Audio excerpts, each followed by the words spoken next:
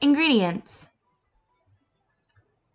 2 slices of bread, some butter, and 2 slices of cheese. Take one slice of bread and spread butter on one side.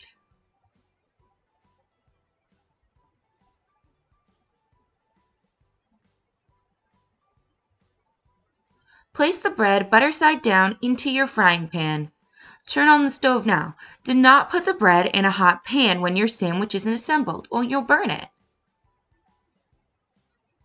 Now, add your cheese. You can use any type you want. I'm going to use American cheese though.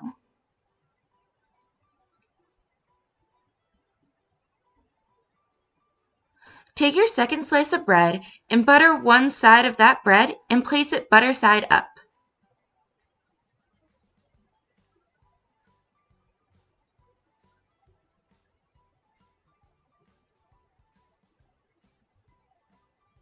Now, once the pan side down of your bread is toasty, it's time to flip it.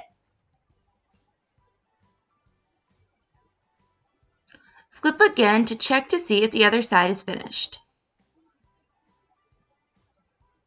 And now you have a gooey grilled cheese. Mmm, yummy.